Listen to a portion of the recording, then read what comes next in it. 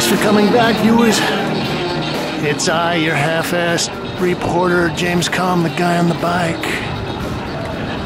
And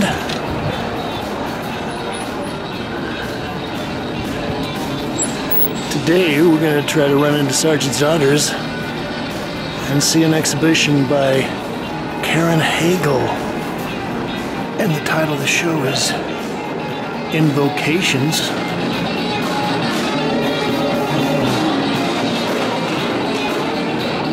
Do our obligatory sweep of the installation. Uh, you might know Karen as uh, a recurring character, a recurring personage in the Kalm Reports. I bump into her running around the art scene, and also she uh, she mans the desk at uh, Matthew Marks Gallery, so she kind of gave me the the info on the latest Jasper John show, and and they let me stay late there. Well, we'll start out looking at this. This is Fox with Stinging Nettles 2019. Acrylic ink collage pastel gold and copper leaf on paper. Well, I covered Karen's last show. I think it was at uh, Stellar Rays up on the Bowery. And it was a two person show with Kate Gilmore. So there were a bunch of performers standing on red uh, metal boxes, sort of kicking them for, I don't know what, five minute sets. This is titled Eight Vultures and a Carcass 2018.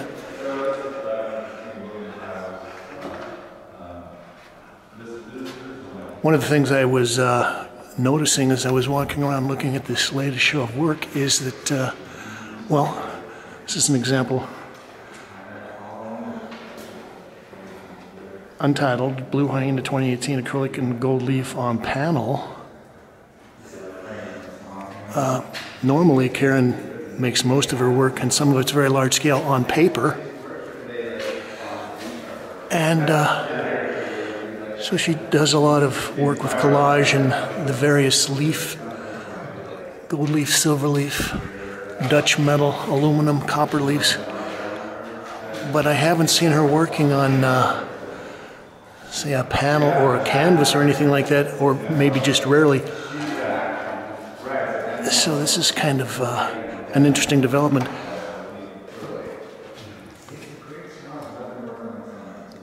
This is titled Still, Still Life with Deer and Two Pheasants. Well, I was going to say that uh, one of the things I noticed in this latest show is that uh, I think Karen is even uh, intensifying her color, and she's uh, kind of widening the planes of flat color and uh, working with very subtle transitions that she's uh, kind of I wouldn't say it's monochrome, but it's it's approaching that. She's uh, put these figures on these nice kind of solid colored backgrounds. Although, like I said, there's some nice nice transitions, like the the magenta into the red. Also, I uh, I like the way that she does various things with the metallics. So some of it is is leaf. Oh, look at this. This is titled Griffin Vulture Soothsayer 1 2018 acrylic ink watercolor collage gold leaf pastel on paper. So part of this is that metallic is a gold leaf or a silver leaf. Then this down here is uh, strokes of metallic paint.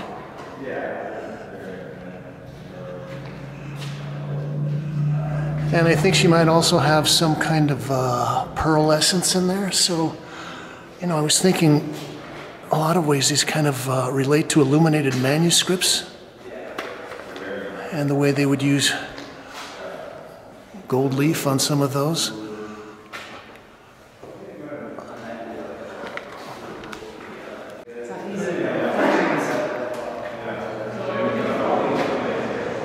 This piece is titled Sacred Bowl 2018 Acrylic Ink Collage Pencil Gold and Copper Leaf on Paper. And again, so we've got uh, kind of a nice, maybe grayed out a little bit ultra blue background. It says here the uh, subject matter are referencing Dutch still lives, Pasolini, the Book of Revelations, and Greek mythology. And I think, uh, yeah, the show that I saw that she was in with uh, Kate Gilmore, a lot of this was about um, birds of prey. And uh, yeah, this is kind of interesting because uh, although this does reference, I guess, Minoan culture, uh, there's also kind of a subtle art reference because uh, yeah, Damien Hirst did a whole series of cows or bulls in formaldehyde with uh, golden horns.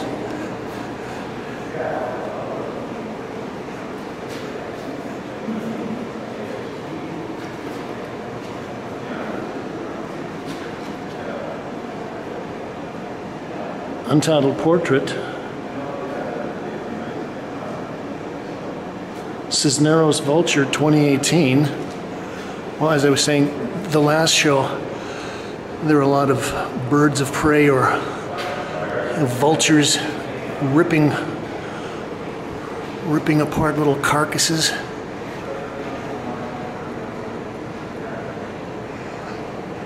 And uh, oh, I like the way that Karen is able to kind of uh, use her color and her figures. And although there's a kind of uh, almost a uh, sense that you're using studies from maybe a ornithology handbook or a field guide, that uh,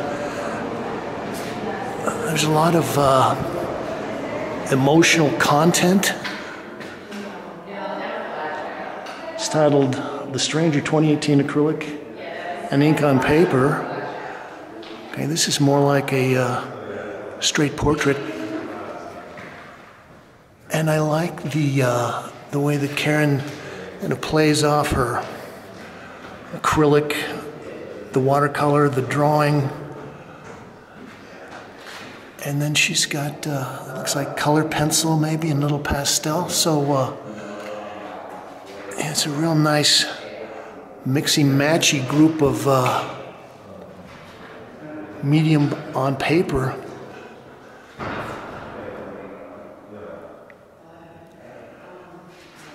And uh, well, Karen is in stiff company because just in the last week or so I've done a program on Alice Neel and her portraits. And I guess the day before yesterday I was in looking at uh, Mimi Gross, and she has a show of a lot of portraits up now. But I think Karen, uh, Karen holds her own.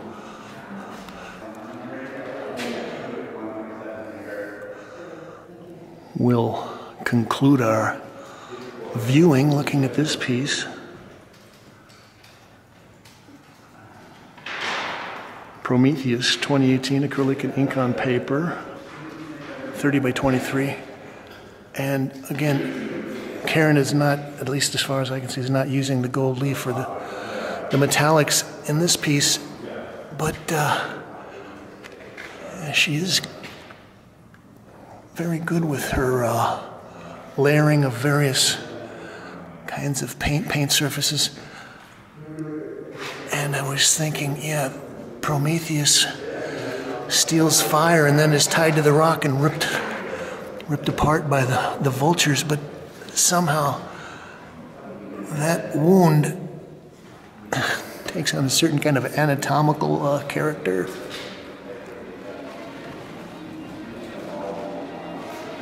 But great color.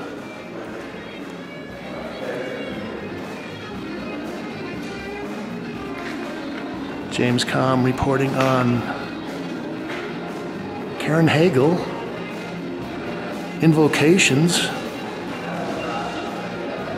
here at Sargent's Daughters.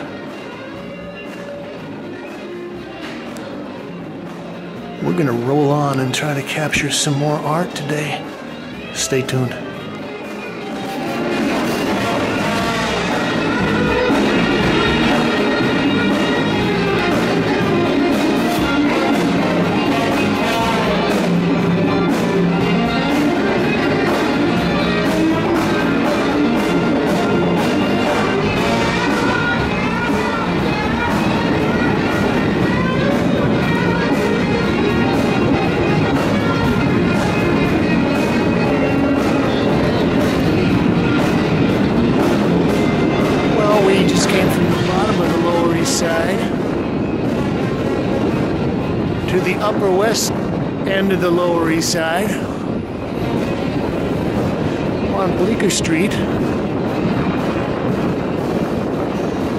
Gonna run in here.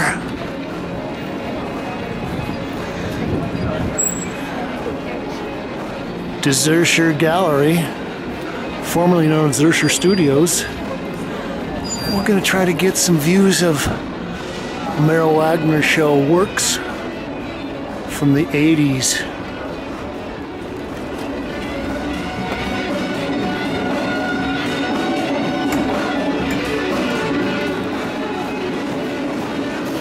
Came in and uh, looked at the show yesterday, but I was pressed for time. I had about 10 minutes before closing time, so I decided I would uh, come back on a Sunday afternoon when I had a little more time to look, contemplate, think about.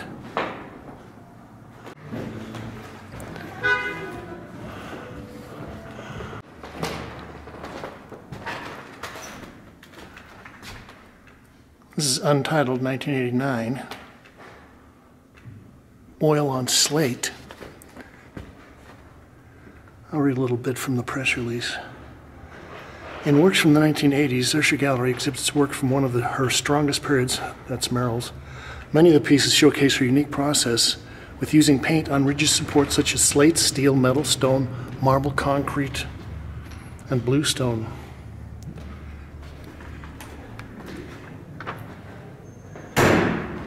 Each piece touches on the cornerstones of Wagner's idiosyncratic process. They all illustrate power exercised by chance, order, and time in her work.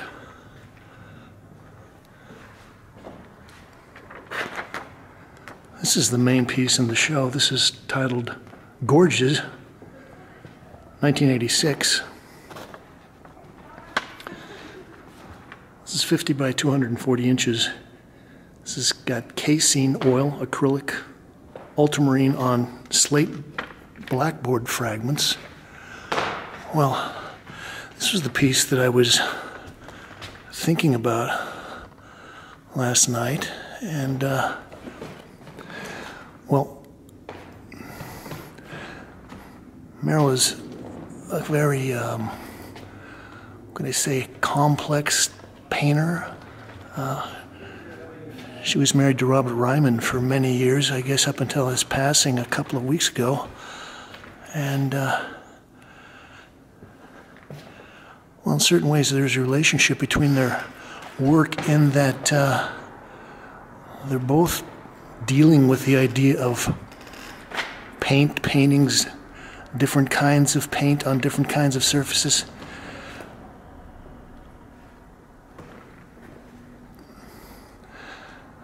One of my prejudices is that uh, I love ultramarine blue.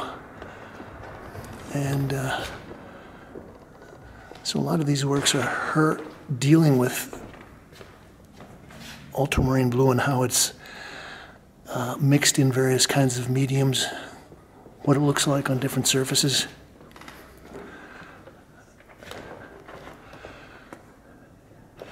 And uh, the other thing that's nice is the um, it's kind of uh, brutal materialism that's dealing with these stone surfaces that she's working on in many of these pieces. And uh, yeah, how something that would be kind of, uh, what could I say, precious and refined, like a uh, ultra blue pigment, looks when it's contrasted against the stone. Guess this might be the, the casein.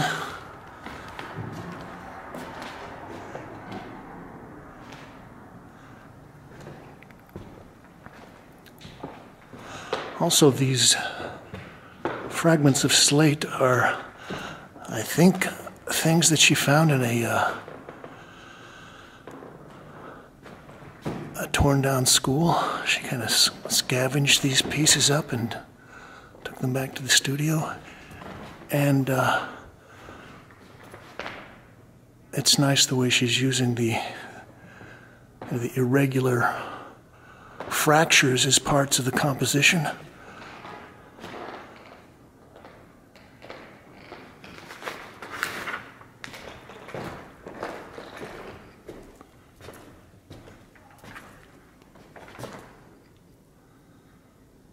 This is untitled 1989. Rust preventative paint on steel.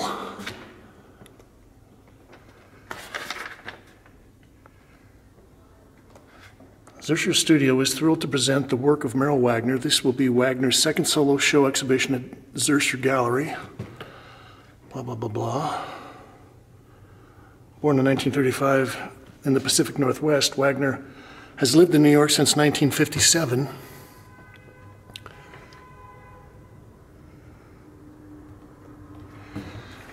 And uh, yeah, so I covered a Mimi Gross show a couple days ago, and I think Merrill and Mimi and a whole lot of people that are that are getting up there now, we're all part of this very uh, dynamic art community that was happening here in New York in the late 50s into the 60s, kind of the transition from abstract expressionism into uh, some other ideas like pop art and minimalism.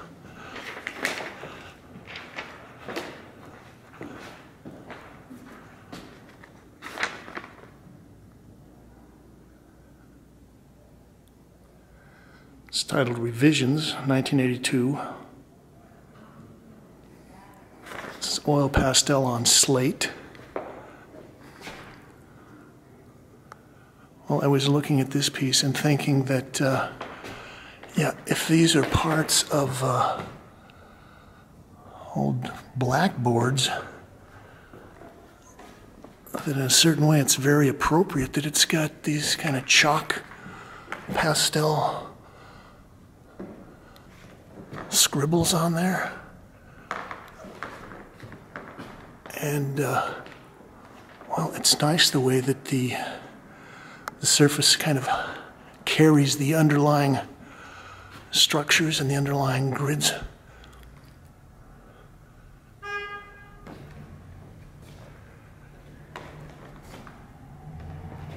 And I was thinking, yeah, It's a good thing these are oil pastels because regular pastels, I guess you could probably just walk up with an eraser and wipe them away. But uh, like I said, this is kind of appropriate.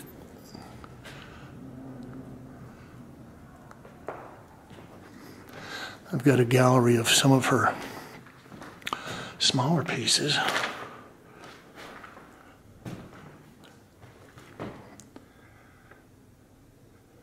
This is NASA Series number three, 1984, oil on slate.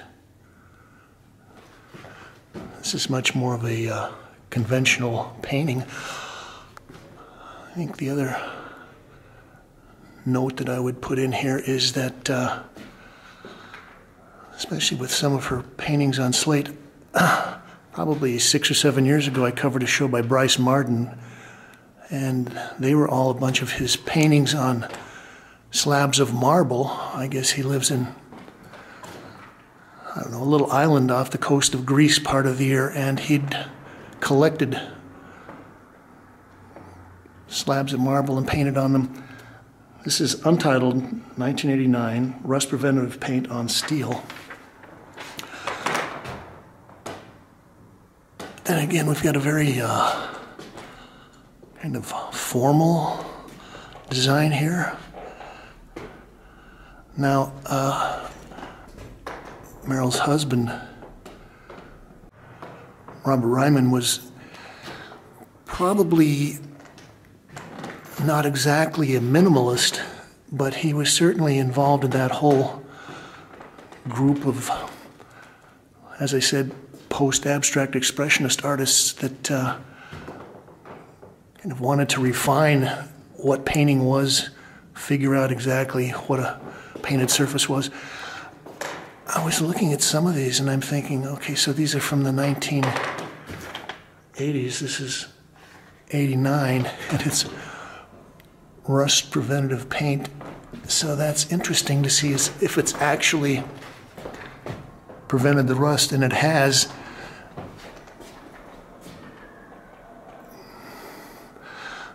That's all part of the uh, the aging process. It's titled Portrait of Susanna, 1989, oil on slate.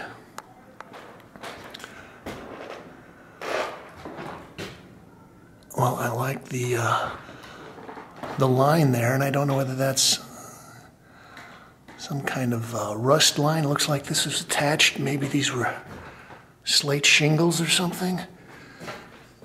But uh, Merrill has laid these two pieces of stone on top of each other, and uh, and then she's put in this uh, little black square. And so this is oil on slate.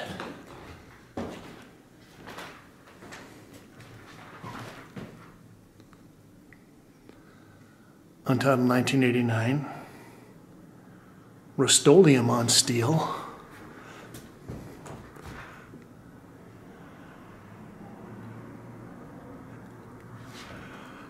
Well, I look at this and I wonder how much of this Merrill did because it's almost like uh, she got a little drill press and is doing some machining if that's her work, or if she found this somewhere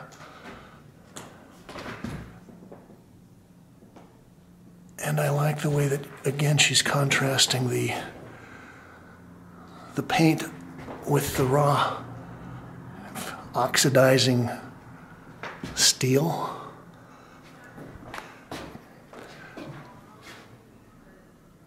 And there's some very uh, understated color of things going on.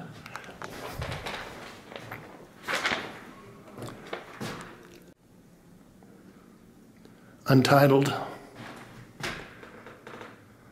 Ethelyn Sidewalk, 1986 to 87, 15 by 14, oil on stone.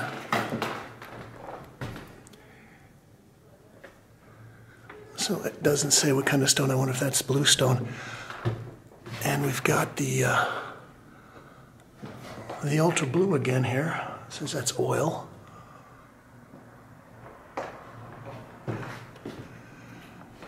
And then this section over here is kind of a brusquely painted black. Again, very minimal geometric forms, but interesting color things.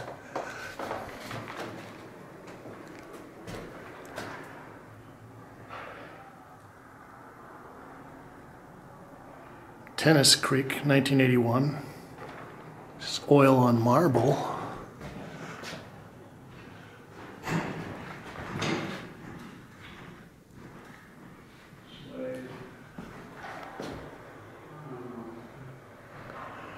It's interesting. So she's got kind of a very active, uh, scribbly batch of work, and then she's got another batch of work that's very uh, austere and restrained and reductive. I'm just a storyteller. This day and age. This is we need more titled Storytellers. Yeah, it's cute, but it it's titled View 1984. I tell you what, the Oil on stone. I look at this stuff, I'm gonna just starve. Okay.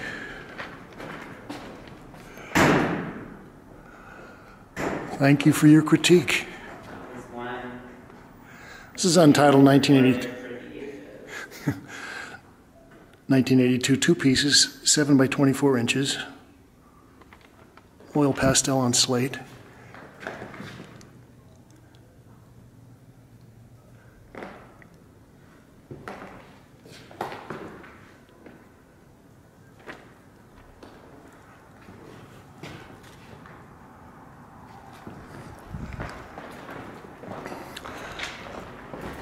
Guess we've got what we would consider a couple of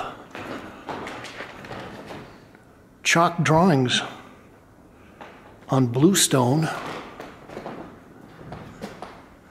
This is titled Turtleback Mountain 1987. 19 by 29 inches framed. Oil pastel on bluestone. Well, this is nice because again Merrill has just taken the natural shapes of these found slabs of stone composed her figure and then just added this kind of slash of chalk of pastel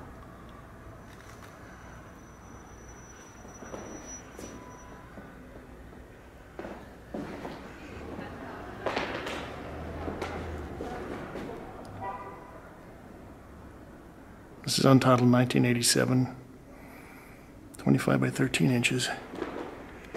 And again, more of the pastel on stone. Well, there is something that's kind of uh, attractive but brutal about this stone surface. And there's some quality of timelessness that that uh, surface has, and then you kind of uh, combine that with almost an architectural diagram on there, and it's uh, it gives you a little bit to uh, contemplate.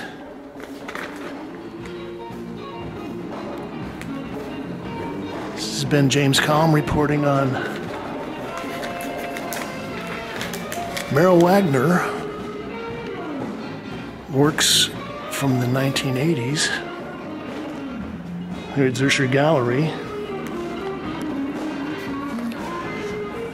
You can like this, subscribe, recommend it to your friends, and leave your thoughts, ideas, comments, and criticisms below. We always end these conversations by saying, Thank you, Kate.